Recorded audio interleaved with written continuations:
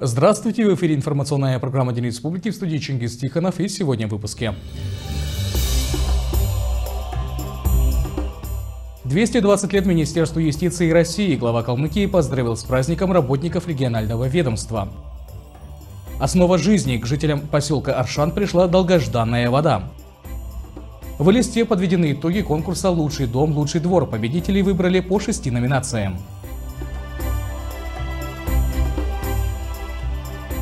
Глава Калмыкии Батухасиков поделился, вот уже 220 лет Министерство юстиции России вносит вклад в укрепление нашей страны как правового государства, обеспечивает защиту прав и свобод человека. Уважаемый Канебек Ураимов, уважаемые сотрудники и ветераны отрасли, поздравляю вас с юбилеем. Сотрудников регионального управления Минюста всегда отличали профессионализм, трудолюбие и преданность избранному делу. Вы с честью выполняете свой гражданский и служебный долг. Для многих ваша работа незаметна, но сейчас, когда перед Россией стоят новые вызовы, ваше предназначение играет особенную роль. Пусть справедливость, интересы нашего государства и народа, живущего в нем, является для вас маяком. И ко всему вышесказанному пусть вам сопутствует здоровье и благополучие во всем. Сейчас к оперативной информации регионального Минздрава. За последние сутки коронавирус выявлен у 193 жителей республики. 242 выписаны с выздоровлением. Госпитализировано в инфекционную больницу 40 пациентов. В тяжелом состоянии один человек. Всего с начала пандемии зарегистрировано 843 летальных исхода. Врачи для родного региона. Спустя неделю после открытия первые студенты медицинского факультета Калмыцкого государственного университета уже с головой погрузились в образовательную среду и с интересом осваивают азы своей профессии. О том, как проходит обучение будущих калмыцких врачей в нашем следующем сюжете. 1 сентября в Калмыкии произошло поистине историческое событие. В опорном вузе региона открылся медицинский факультет, который будет готовить специалистов для местных медучреждений. 94 студента из числа вчерашних школьников и выпускников медицинского колледжа уже проходят обучение по двум направлениям – педиатрия и лечебное дело. История создания факультета достаточно длинная. Еще на момент того, как был создан Калмыцкий госуниверситет в далеком 1970 году, уже тогда витала идея о том, чтобы в будущем на базе университета у нас открылся медицинский факультет. Но уже спустя вот 50 лет мы наконец-то можем сообщить о том, что в стенах нашего университета 1 сентября 2022 года открылся новый медицинский факультет.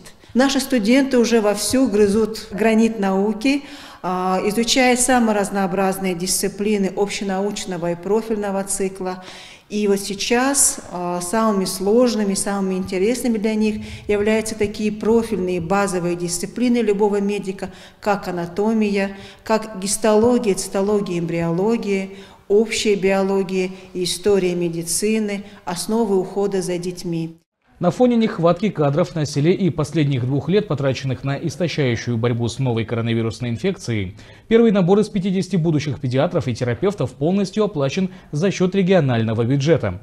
А для повышения квалификации уже подготовленные калмыцкие врачи и средний персонал будут стажироваться в столичных клиниках. Наша республика испытывает а, очень жесткий дефицит с медицинскими кадрами. Многие медицинские кадры, к сожалению, уезжают за пределы города и республики. И мы надеемся, что открытие медфакультета во многом будет способствовать решению вот этой вот кадровой проблемы.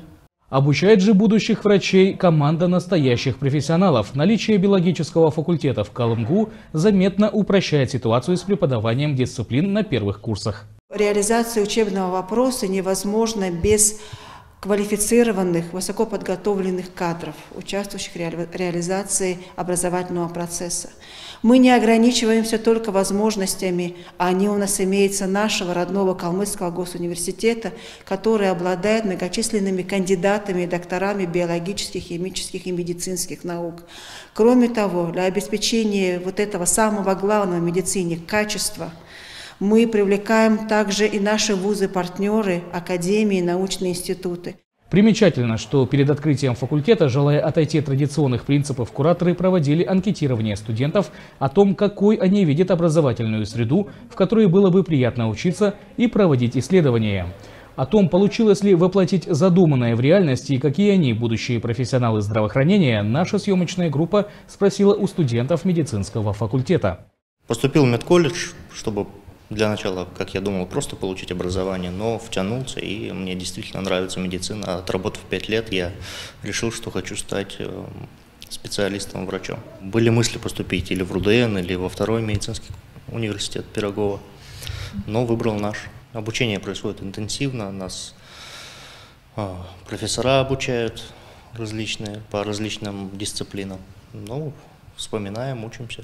Медицина меня привлекала с детства, и я уже знала то, что я пойду обучаться в медицинский колледж и оттуда получать высшее образование. Были уже новости, то, что в этом году хотят открыть.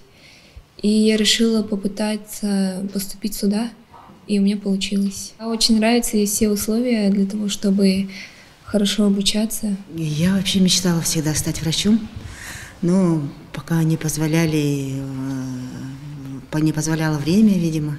Дети были маленькие. Ну и в этом году услышала, что открылся медицинский факультет и решила поступать. Мне очень нравится. Лекции практически сразу же закрепляем материал. Обучение нравится. Очень много нового узнаем. Повторяем всю школьную программу. Как подчеркнул ректор Калымгу Бадмас Алаев, еще 1 сентября открытие медицинского факультета – это событие не только для университета, но и для всей Калмыкии. Ведь теперь у здравоохранения республики есть будущее в нынешних студентах, настоящих первопроходцах медицинской школы Калмыкии, на плечах которых будет система здравоохранения региона. Чингис Тихонов, Джергала Хичиева, Анатолий Кажинбаев. Информационная программа День Республики. Режим временного ограничения полетов в 11 российских аэропортов продлен до 16 сентября, сообщает Росавиация. Временно ограничены полеты в аэропорты Анапы, Белгорода, Брянска, Воронежа, Геленджика, Краснодара, Курска, Липецка, Ростова-на-Дону, Симферополя и Элисты. Российским авиакомпаниям рекомендовано организовать перевозку пассажиров по альтернативным маршрутам, используя аэропорты Сочи, Волгограда, Минеральных вод, Ставрополя и Москвы. Остальные аэропорты России работают штатно.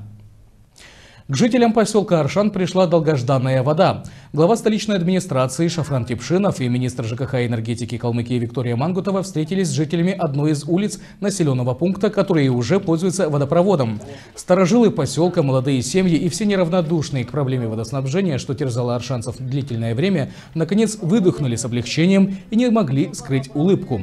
Стоит отметить, на застарелую проблему жителей обратил внимание глава Калмыкии и дело сдвинулось с мертвой точки. По поручению Хасикова ход работы работ по строительству объектов водоснабжения в поселке Аршан стоял на четком контроле Министерства ЖКХ и энергетики республики и администрации города. В два этапа подводящий водовод к поселку от резервуара чистой воды в южном районе Листы был полностью завершен этим летом. Таршан – пригородный поселок, проживает 4 тысячи населения, есть две школы, начальная, средняя, детский сад, а вот центрального водопровода не было.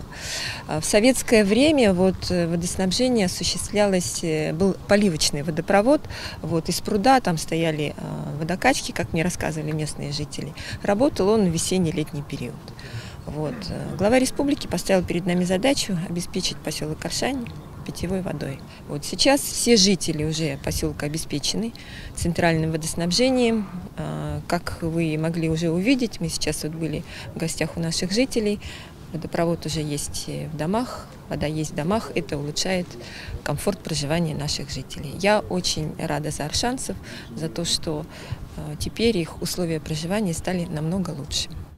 Мы сейчас с вами встречались с жителями, слышали, э, как это долго ждали. Некоторые даже говорят, что даже в процессе работы не сильно верилось.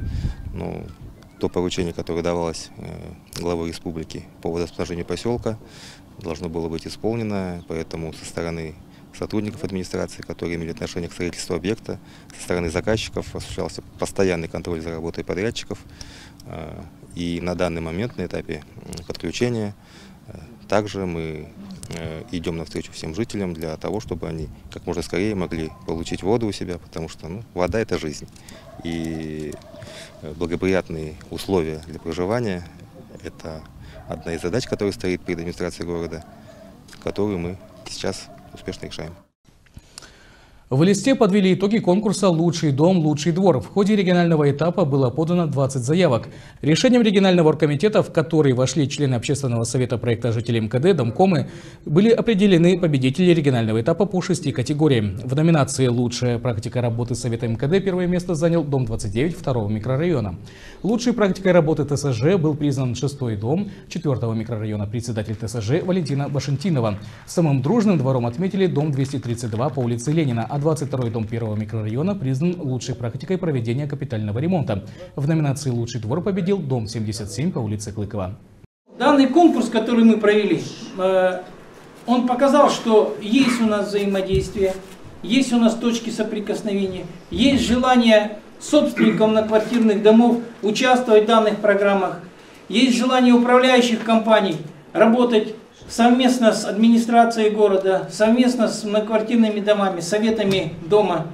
И данная работа, я думаю, что будет э, плодотворной, эффективной, если мы подключимся все вместе. Калмыцкие джангарчи примут участие в международном фестивале новой музыки Европа-Азия, который пройдет в Казани с 9 по 11 сентября. Масштабное музыкальное событие пройдет уже в 15 раз, но это впервые, когда трио джангар, работающее в жанре аутентичного фольклора, представит степной регион на мероприятии подобного уровня. Как отмечают организаторы, проведение фестиваля требует огромных сил, но в результате колоссальной работы зрители получат возможность услышать что-то новое и необычное, а музыканты – вдохновение и опыт для своего дальнейшего творчества. Нас пригласили впервые на этот фестиваль в Казань. Будем выступать в большом зале имени Сайдашева, то есть на площади их победы и в Кремле, в Кремлевском дворце. Мы будем представлять э, калмыцкую культуру, этническую музыку, э, то есть мы внесем как бы эпос, джангар. В таком большом масштабе, как сказать, фестиваля. Мы, это получается международный фестиваль, и мы впервые, у нас есть волнение, конечно, ну, мы думаем, мы справимся, все будет хорошо. Калмыкия готовится принять юноармейцев со всего юга России. С 9 по 11 сентября в степной столице соберутся более 350 учеников школ на межрегиональный слет в сфере военно-патриотического воспитания детей и молодежи.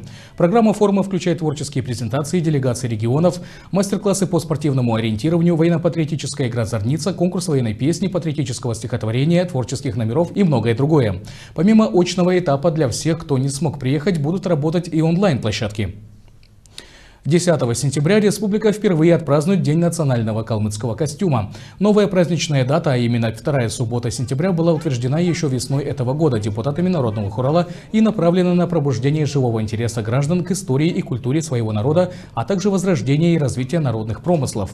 Предваряя праздничную дату 9 сентября в Элисте состоится крупный этнофорум, на котором участники обсудят традиции изготовления национального костюма, а также расширение сферы его применения с использованием современных материалов.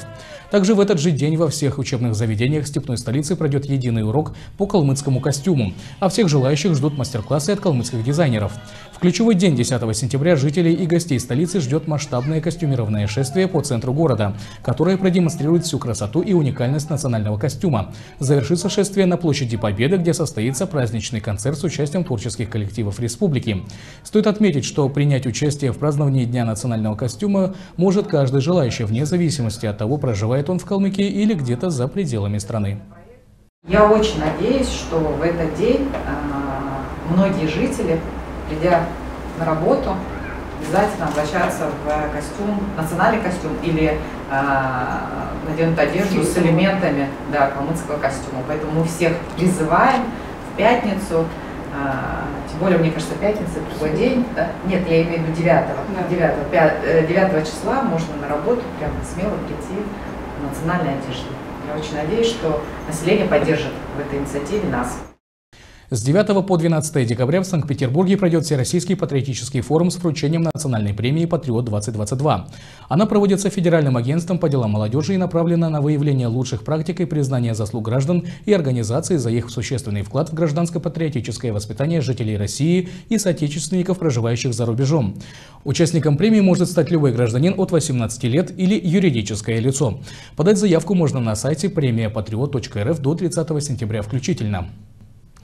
Выпуски новостей, а также другие передачи нашего телеканала смотрите в цифровом вещании канала УТР на 21 кнопке в IPTV зеленой точки Ростелекома и на официальных аккаунтах во Вконтакте и Телеграма. На этом у меня все. Всего доброго и до встречи в эфире.